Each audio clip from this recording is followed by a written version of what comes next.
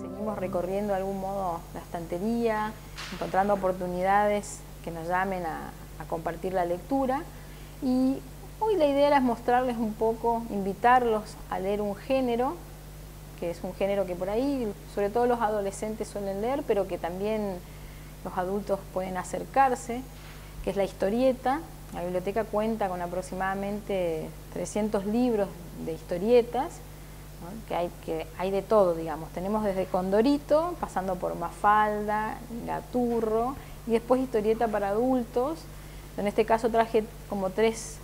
pensando sobre todo en los adolescentes y en los adultos, traje tres libros de historietas, este que se llama Itch, que es un libro de Luciano Saracino, que es el que escribe, digamos, la, historia, el guionista, y que está ilustrado por Olivetti, que es un dibujante argentino muy bueno.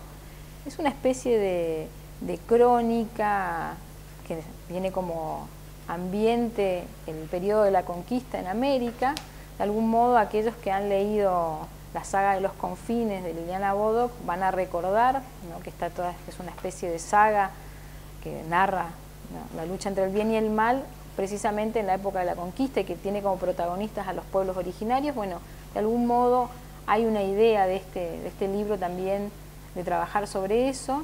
y de algún modo muestra también visualmente, tiene unas muy buenas ilustraciones, muy bien ilustrado, el contacto entre ese mundo mítico de los pueblos originarios con ese mundo, eh, digamos, de algún modo mediado por, la, por cierta lógica de, la mercancía, de la riqueza, de buscar tesoros que tenían los conquistadores cuando llegaron a América. Es de aventuras y la verdad es que está, está muy bueno, es muy entretenido, es fantasioso porque precisamente articula esa idea de, ese mundo de fantasía que tenían los, los pueblos originarios. Después también recomendarles un clásico, verdaderamente un clásico de la, historieta argentina, que es Perramus. Perramus era una, es una historieta que en este caso está compilada eh,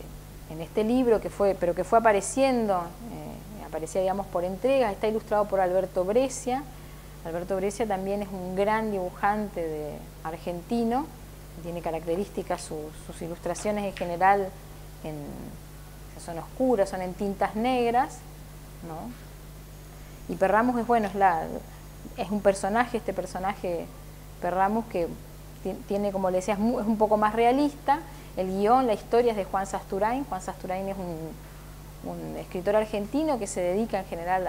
al policial y sobre todo al policial negro, que retrata de algún modo la realidad cotidiana. Eso está, está en el,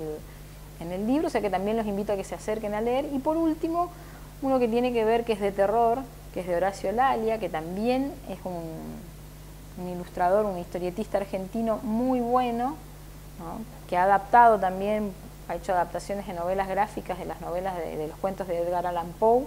también, y de, Lovecraft, que son cuentos de terror. Eh, así que bueno, este también es una muy buena oportunidad, una buena manera de acercarse a la historieta, aquellos que cultivan la historieta, que de algún modo han sido lectores de historieta siempre, en la biblioteca tenemos muy buenos, muy buenos materiales, y aquellos que por ahí les da curiosidad o que solo han visto, ahora están muy de moda los manga, etcétera, eh, esto también de algún modo es una, buena manera de acercarse a, a, ese lenguaje audiovisual que es audiovisual, ese lenguaje visual que mezcla lo que es la literatura en este caso son, algunas son adaptaciones de, novelas. Eh, es una buena manera de acercarse a estos, estos autores, estos tres autores que elegimos hoy para ustedes. Hay mucho más en la biblioteca, así que bueno, la idea es que se acerquen y los esperamos.